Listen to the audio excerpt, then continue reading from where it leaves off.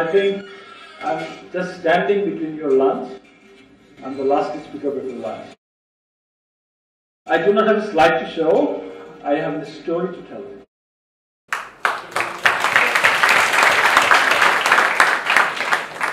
So, as you have heard that I've worked 15 years in multinational companies and global companies. At some point in time in my career, I took a job in a global company as head of marketing.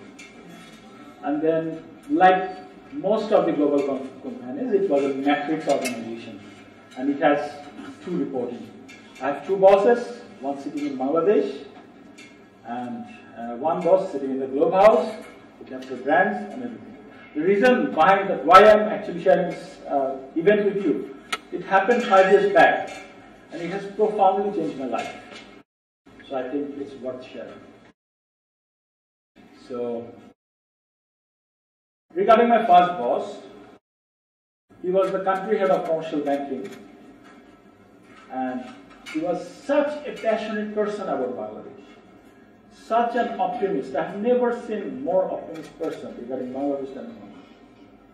So in all my marketing campaigns that I was trying to plan, we wanted all the cultural ingredients to be in part, the Bangladeshi colors to be in there. But my boss was sitting in Globe House, they more have a templated version of the campaigns because they're running global brand. So every time I pitch a proposal, it gets rejected. And then I fight because country is the profit center. We make the business. Then we say our customer wants it. Then finally, then they approve. That's how it was going for first six months. Then it was time for the review. After six months of my job, and the review came, I become unsuccessful. The review came that I was not fit for the role, and my boss has given an extremely harsh feedback regarding my competency, regarding all my accolades that I have through other organizations. And the last word that struck me the most, it says, even Mr. Moniruzzaman, he slept during the training in the Globe House. What? He slept during the training? I could not take the feedback. How could someone say that? even if I was sleeping in a formal document, how could you? Then I drafted an email, okay? and it was probably the best email that I have written. This long, lots of good words put in places. If you understand what the good words means, then I went back to my boss, the local one, and said, "This is what I'm going to send." I'm not asking for approval. So it is going to come back to you. So you are just informed. He said one thing to me. Nice email. Fantastic. Do one more thing. Send it tomorrow morning. And go back today. And just think how you have disappointed her so much that she had wrote that plan how you have done that bridge. I've taken his advice and I went back. For one night, I tried to get a self-reflection. What did I do? And that night actually changed my life. Next morning, when I came back and I opened the email, I was ashamed. My God, what I had written. Instead, I've sent an email with two words, acknowledged, thank you for your feedback, and let's work together for a better future. That's it. Then, through a couple of weeks, we had a couple of calls. We tried to understand each other's priorities. And I was really trying to, I was just listening to her. I said that, what was your priority? What was your KPI? Then I understood that this company has branches in 100 countries. If every country does their own campaign, create their own brand, put their own colors, and you go to Google and you search that company name, it comes like a rainbow. The brand because it was a multi-billion dollar brand. But sometimes she had to agree to me because I was doing it in the name of the customers, right? So then I understood that literally then everything that I had to do was I had to be a little bit open. I had to understand what her point of view was and share what was my objective. And we could really see that we are not talking much different. We just have to find out what is common in between us and we have to find a solution. So from that event, then I thought further and we understood that every time we give a feedback to someone, even if it is asked or it is not, we share our opinion.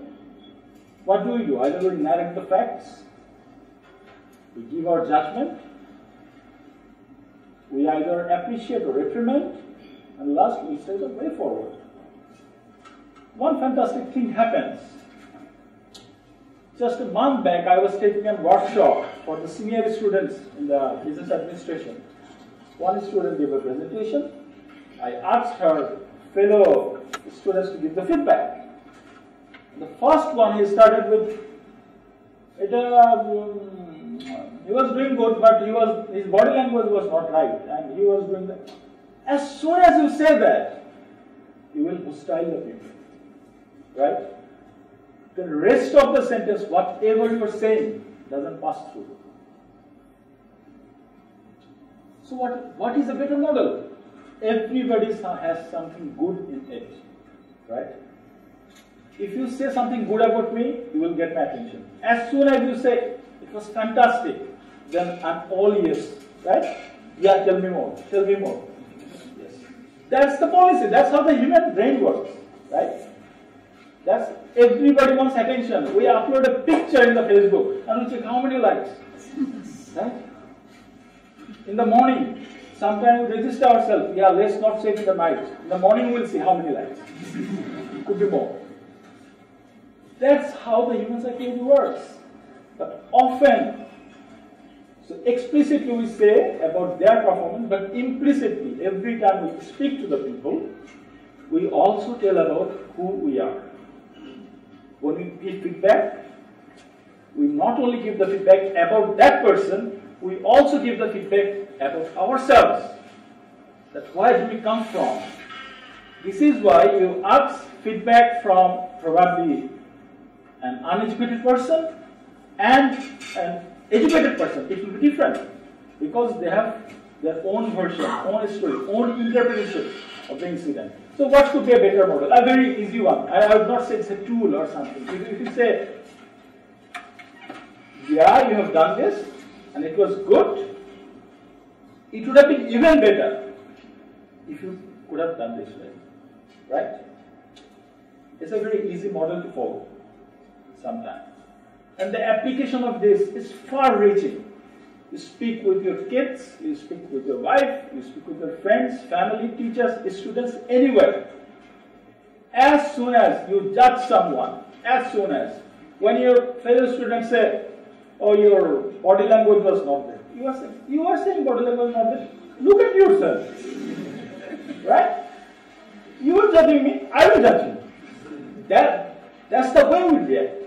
So next time, probably you will have some better feedbacks in the afterwards. Probably those are specific. Probably your eyesight, probably your eye contact was not good. But you will not listen to that. As soon as you say you are not good, then you will say, you will only hear, I'm not good, I'm not good, I'm not good, I'm not good. That's what you will hear. So if you really want to care about someone, say something good about themselves. And then try to help it.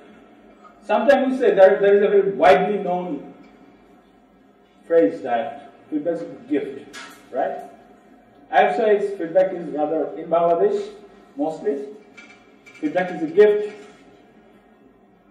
with a surprise box. You open it and you get a punch. right? You give someone that give me a feedback and they will judge you. Let's not do that. And then you can change your life. Right? So, theme of today's discussion is paradigm shift. Right? So we often think that what this paradigm shift comes from So we often think that the world is hostile to us. I've been talking with the students yesterday that we're lacking motivations. We need motivations to continue or something. Right? So I'm not here to give the motivation. The only thing, if you're open about it, and you can change the world from your perspective by changing yourself. That I understood.